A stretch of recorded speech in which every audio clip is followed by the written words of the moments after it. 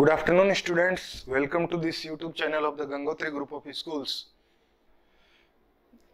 अपन coordination chemistry के अंदर आज पढ़ेंगे आइसोमेरिज्म अभी तक अपन पढ़ रहे थे नोमेनक्लेचर किस तरीके से कोऑर्डिनेशन कंपाउंड्स का नेमिंग किया जाता है या किसी कोऑर्डिनेशन केमिस्ट्री की नेमिंग कंपाउंड की नेमिंग अगर दी जाती है तो उसको किस तरीके से फॉर्मूला जनरेट करते हैं ये सब देख रहे थे और डिफरेंट डिफरेंट टर्मिनोलॉजीज के बारे में बात कर रहे थे आज हेडिंग डालेंगे isomerism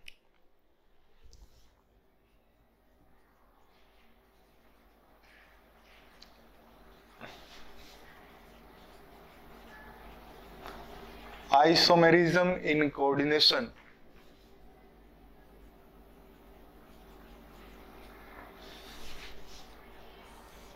Compounds देखिए आइसोमेरिज्म जो टर्म है, उससे आप क्या समझते हैं? मैंने आपको ऑर्गेनिक केमिस्ट्री के अंदर वैसे बता ही दिया कि आइसोमर्स ऐसे कंपाउंड्स होते हैं जिनके डिपेंड करता है कौन से आइसोमेरिज्म की बात करते हैं। आइसोमेरिज्म अलग अलग तरीके के होते हैं, लेकिन सिंपल अगर कोई आइसोमर्स की बात करे तो अपन बोलते हैं कि ऐसे दो या दो से अधिक कंपाउंड जिनके मोलिकुलर फॉर्मूला या केमिकल फॉर्मूला तो सेम होते हैं। दिखने में केमिकल फॉर्मूला कॉपी पे लिखे हुए सेम दिखेंगे। बट उनका arrangement of atoms structural formula या मैं बोलू थ्री स्पेस में रीअरेंजमेंट अलग अलग होगा। या मैं बोलू उनकी केमिकल प्रॉपर्टीज़ और फ़िज़िकल प्रॉपर्टीज़ अलग अलग होंगी। This kind of compounds are known as isomers to each other and this phenomena is known as isomerism बात को समझना, वापस से बोल रहा हूँ। टू और more than two compound which are having that same chemical formula same molecular formula but having the different chemical and physical properties are known as isomers to each other and this phenomena is known as isomerism या इसी को मैं अलग तरीके से बोलूं कि to और more than two compounds which are having the same chemical formula but having the different arrangement of atoms in 3D space or different structural formula are called isomers and this phenomena is known as isomerism आप दोनों में से कोई भी कर सकते हैं। तो लिखेंगे इधर। वही डेफिनेशन लिखेंगे सबसे पहले। टू और more than two compounds which have same chemical formula which have same chemical formula but different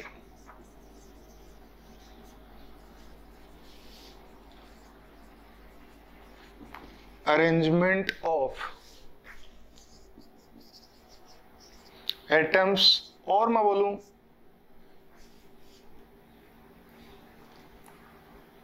different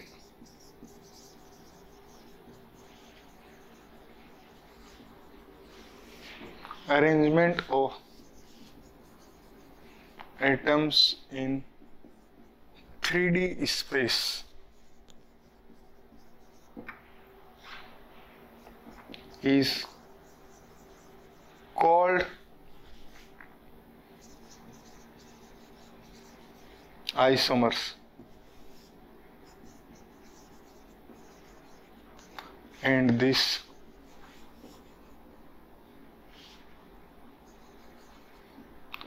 phenomena is known as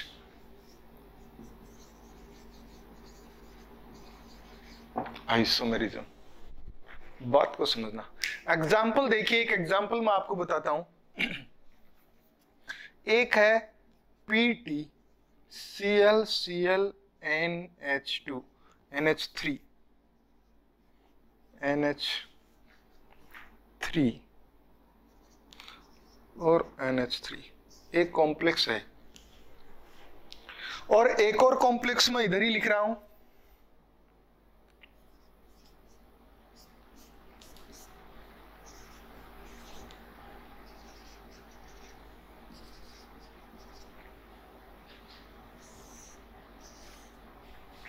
ये दोनों कॉम्प्लेक्स हैं। जिनके अंदर स्क्वायर प्लेनर ज्योमेट्री है, ये प्लेनर है। मतलब four coordinated platinum four coordinated platinum अगर प्रेजेंट है तो दोनों के अंदर मोलिकुलर फॉर्मूला तो सेम ही है। मैं लिख सकता हूँ प्लेटिनम एन एच थ्री का whole twice C L two ये तो हुआ इन दोनों के लिए केमिकल फॉर्मूला इसके लिए भी यही। लेकिन क्या देखिए अरेंजमेंट अलग अलग है एटम्स का अरेंजमेंट अलग अलग है, बिल्कुल है। इसमें तो दोनों एक तरफ़ है, और इसमें दोनों क्या है अपोजिट साइड है। तो इस तरीके के कंपाउंड्स को क्या बोला जाता है? आइसोमर्स टू इच अदर बात समझ आता है।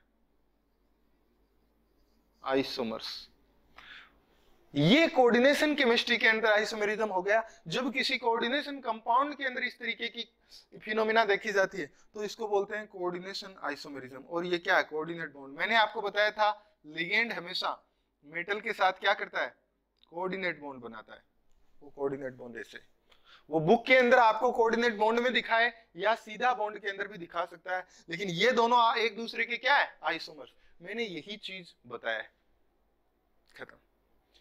कोऑर्डिनेशन केमिस्ट्री के अंदर आइसोमेरिज्म दो तरीके की हो सकती है। One can be the optical isomerism and another can be the structural isomerism वही स्ट्रक्चरल आइसोमेरिज्म अलग अलग तरीके से पढ़ेंगे और ऑप्टिकल आइसोमेरिज्म भी अलग अलग तरीके से पढ़ेंगे। ऑप्टिकल आइसोमेरिज्म ज्योमेट्रिकल और ऑप्टिकल और ये स्ट्रक्चरल आइसोमेरिज्म चार तरीके से पढ़ते हैं। Hydrate isomerism, ionization isomerism, linkage isomerism और कोऑर्डिनेशन आइसोमेरिज्म। ये चार तरीके से पढ़ते हैं। तो वही करेंगे। The coordination isomerism. The isomerism in coordination compounds can be two type isomerism in coordination chemistry can be two type one is structural isomerism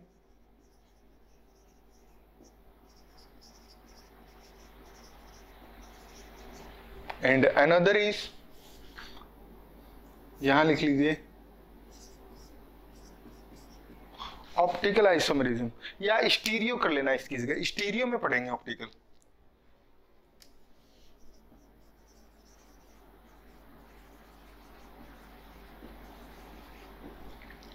stereo isomerism stereo isomerism को दो तरीके से पढ़ेंगे। एक होता है ज्योमेट्रिकल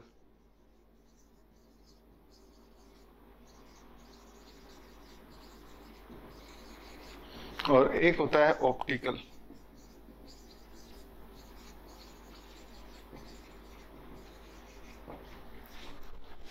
और कोऑर्डिनेशन आइसोमेरिज्म को भी अपन चार तरीके से पढ़ेंगे।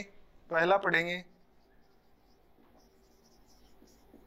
Ionisation isomerism. सेकंड पढ़ेंगे कोऑर्डिनेशन आइसोमेरिज्म।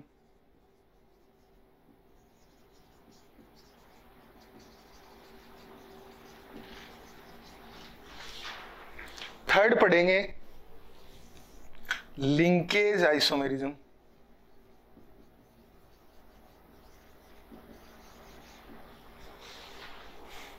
एंड फोर्थ पढ़ेंगे सोलवेट और जिसको बोलते हैं हाइड्रेट आइसोमेरिज्म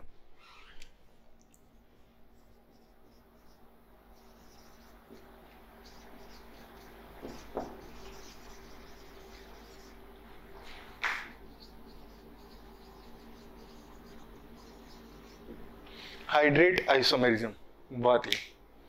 ये इतनी तरीके से आइसोमेरिज्म अपन कोऑर्डिनेशन केमिस्ट्री के अंदर पढ़ते हैं। और आइसोमेरिज्म पढ़ने के बाद पढ़ेंगे different different theory on the coordination compounds किस किस तरीके से, कैसे कैसे कौन कौन सी थ्योरी डेवलप हुई थी? उसके अंदर पढ़ेंगे वीबीटी और CFT crystal field splitting theory and valence bond theory है बात सुन तो सबसे पहले स्टार्ट करते हैं स्ट्रक्चरल आइसोमेरिज्म हेडिंग डालेंगे स्ट्रक्चरल आइसोमेरिज्म के अंदर आयनाइजेशन आइसोमेरिज्म तो देखिए ionization isomerism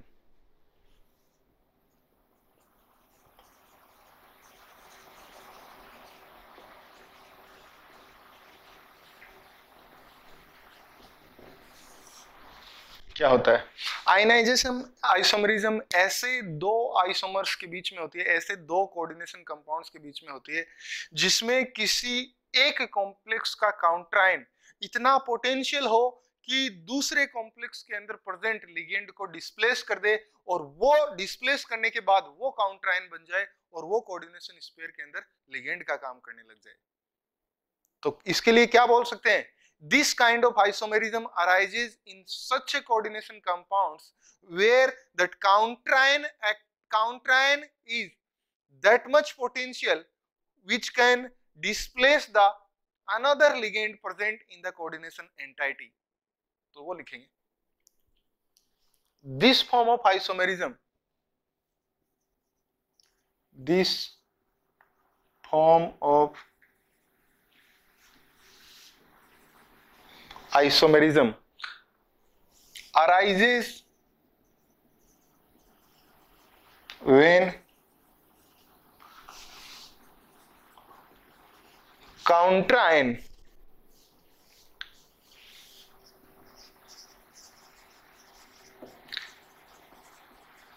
in a complex salt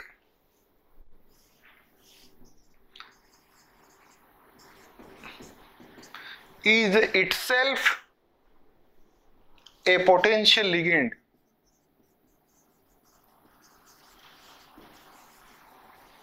Ligand. And can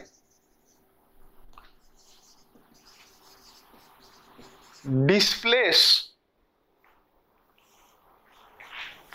a ligand which is present in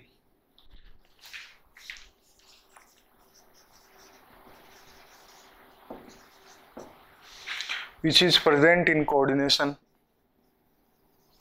sphere coordination sphere के अंदर present हो also that displaced ligand occupy the position of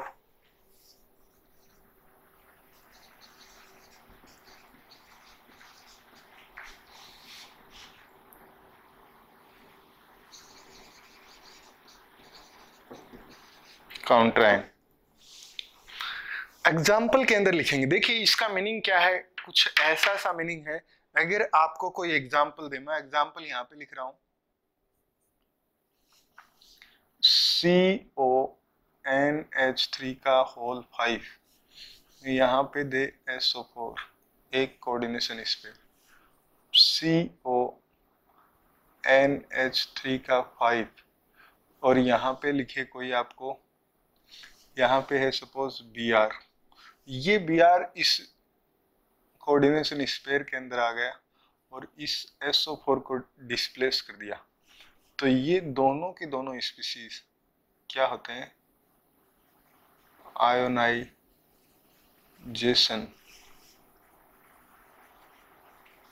isomers बोलते हैं इनको। ये होते हैं आयनाइजेशन आइसोमर्स। कि एक लिगेंड इतना ताकतवर है which can displace to the another ligand which is present in the coordination sphere and that ligand will come to the counterion come to the counterion which was earlier जो present था पहले। है बात सुने इसकी रिएक्शन yes. देखिए इन दोनों कंपाउंड्स का केमिकल फॉर्मूला तो सेम ही है। तो इसका जब रिएक्शन AgNO3 के साथ करवाते हैं तो ये क्या देता है? पीपीटी देता है AgBr का। और जब इसका रिएक्शन बेरियम के साथ करवाते हैं तो ये भी क्या देता है? बेरियम सल्फेट का क्या देता है? पीपीटी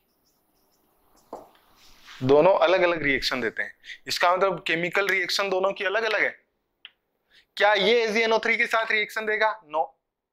क्या ये BSO4 के साथ रिएक्शन बेरिलियम के साथ रिएक्शन बेरियम के साथ रिएक्शन देगा? No no. ऐसे। कंपाउंड्स जिनके मोलिकुलर फॉर्मूला सेम है, लेकिन आयनाइजेशन स्पेयर के अंदर काउंट्राइन अलग अलग है। एक काउंट्राइन एक बार दूसरे के लिए लिगेंड का काम करता है, एक लिगेंड दूसरे के लिए काउंट्राइन का काम करता है एंड वाइस वर्सा ऐसे। हेडिंग डालेंगे linkage isomerism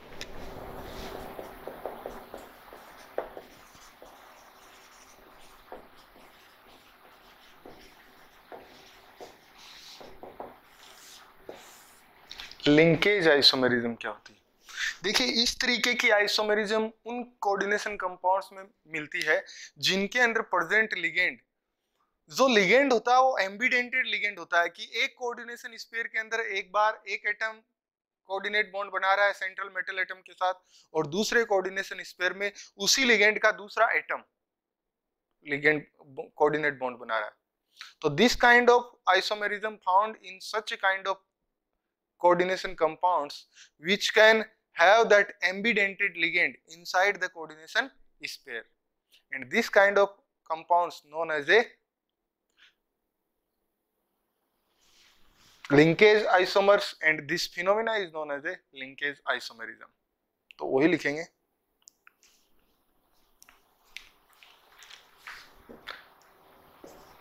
It found in such a coordination it found in such a coordination com complexes such a coordination complexes which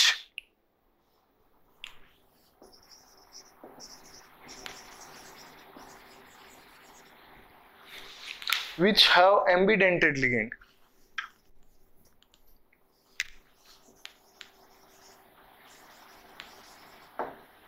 which have ambidentate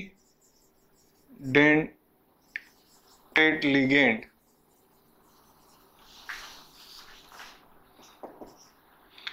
inside the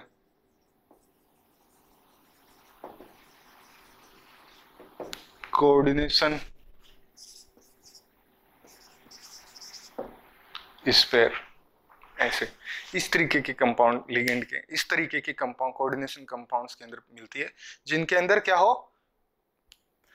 ambidentate ligand हो। Ambidentate ligand के मैंने example कौन कौन से बताए थे? सबसे पहले वो आता है। एग्जांपल्स एम्बिडेंटेड लिगेंड के आते हैं? थायोसाइनाइड थायोसाइनाइड मैंने आपको एग्जांपल बताया था एस मैंने आपको एग्जांपल बताया था थायो आइसोसाइनाइड एस सी एन और इसके अंदर भी नेगेटिव चार्ज इस, ये कंपाउंड के अंदर इसका एस है, इसका एन है कोऑर्डिनेटिंग साइट इसी तरीके से नाइट्राइटो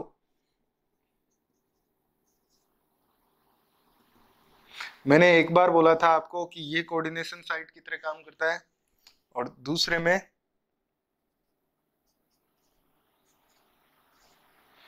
ये कोऑर्डिनेशन साइट की तरह काम करता है। तो ये भी क्या है? एम्बिडेंटेड लिगेंड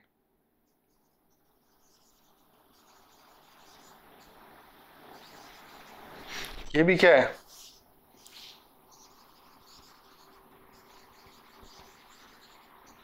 एम्बिडेंटेड लिगेंड ऐसे। अब देखिए किस तरीके से कोऑर्डिनेशन कंपाउंड्स देखते हैं, वो करें। एग्ज़ाम्पल देखेंगे, कोऑर्डिनेशन स्पेयर्स के which are having the example for this linkage isomerism.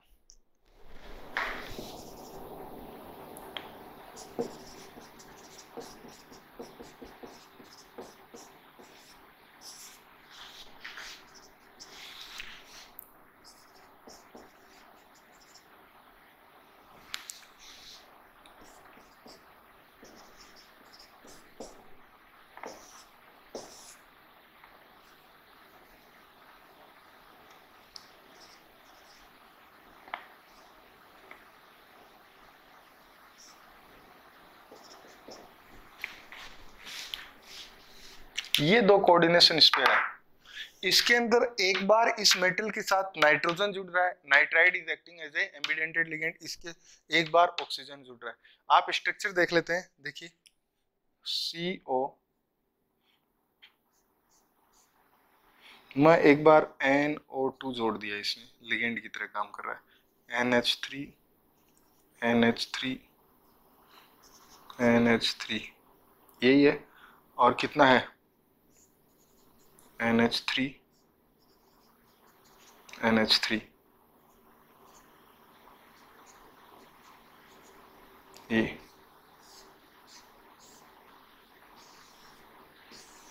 एक तो ये। एक लिगेंड ये है।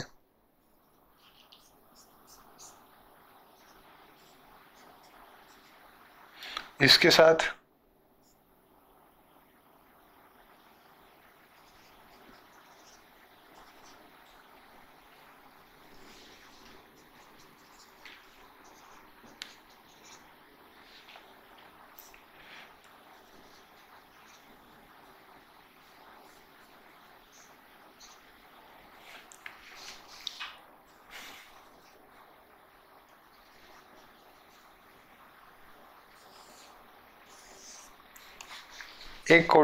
पर ही है।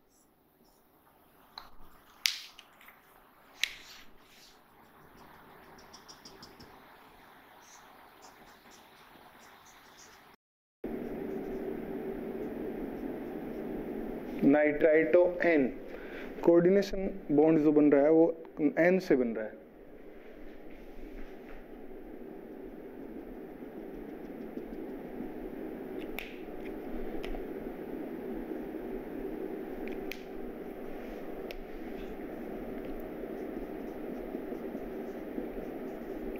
नाइट्राइटो ओ ये।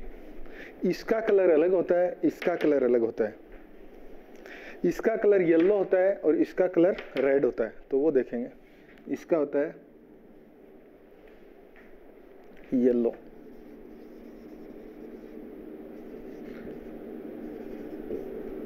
फ़िज़िकल प्रॉपर्टीज़ अलग। इसका कलर होता है रेड कलर ऐसे। ये हुए दो एम्बिडेंटेड लिगेंड की तरह काम करते हैं, लिंकेज आइसोमेरिज्म। इसको एम्बिडेंटेड आइसोमेरिज्म भी कभी कभी लोग बोल देते हैं। आया बात समझ इसका नाम क्या हो जाएगा? इस कोऑर्डिनेशन कंपाउंड का नाम क्या हो जाएगा? अगर कोई बोले तो? तो बोलेंगे क्या? Penta ammine penta ammine nitrito and cobalt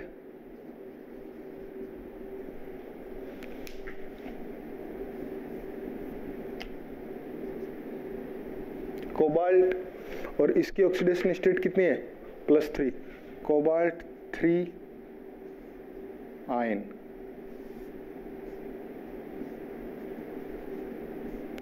ये इसका आईपीएस नेम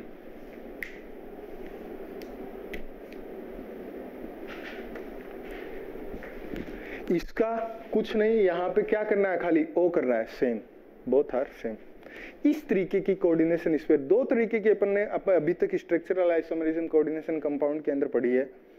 तीसरे तरीके की आइसोमेरिज्म देखने के लिए अपन नेक्स्ट वीडियो के अंदर करेंगे। ये दो तरीके से करिए। इसके एग्जाम्पल्स आपको जहाँ कहीं भी मिलते हैं, जहाँ कहीं भी कोऑर्डिनेशन कंपाउंड लिगेंड काउंटराइन की तरह आता है काउंटराइन लिगेंड की तरह आता है आयनाइजेशन स्पेयर जिस कहीं में भी लिगेंड एक ही लिगेंड के अंदर एक बार नाइट्रोजन लोन पे डोनेट कर रहा है, एक बार ऑक्सीजन डोनेट कर रहा है, एक बार सल्फ़र कर रहा है, एक बार नाइट्रोजन कर रहा है, उसको लिंकेज ये बात हमेशा ध्यान रहनी चाहिए। ऐसे करिए। थैंक यू वेरी मच इतना करिए।